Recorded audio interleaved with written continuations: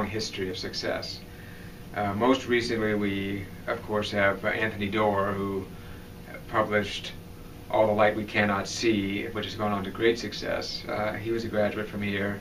Earlier, we had Carolyn Forche, and we had a long history of writers who've gone on to great success, and uh, both uh, to publish well, to win awards like the New York Public Library Young Lions Award and the, the Flannery O'Connor Award.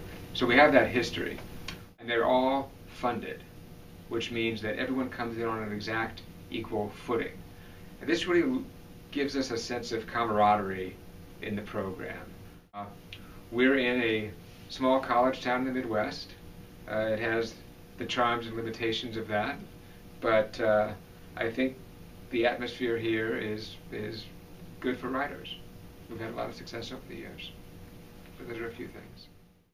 Um, I think without coming to Bowling Green, I wouldn't have had a chance to do a lot of the writing that became my first book. Um, I, you know, the amount of time I had to work here, the support I had, the classmates I worked with, um, all of that was invaluable to like finishing that first book and getting that, that early work done. Um, I also think that I was really supported in doing the kind of work I wanted. I think the thing that people are afraid of in MFA programs is that we're all going to turn into the same kind of writer, and that wasn't the case here at all. I think everybody was really encouraged to be the writer they wanted to be and the writer they wanted to become. My time at Bowling Green has been invaluable for my writing career. Um, I think just the things that I learned here in terms of craft, in terms of how to put a story together, um, in terms of writing markets and publishing and submitting.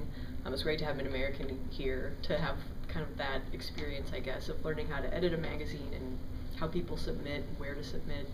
Um, but just you know the people I've met here, I, I can't imagine having gone anywhere else.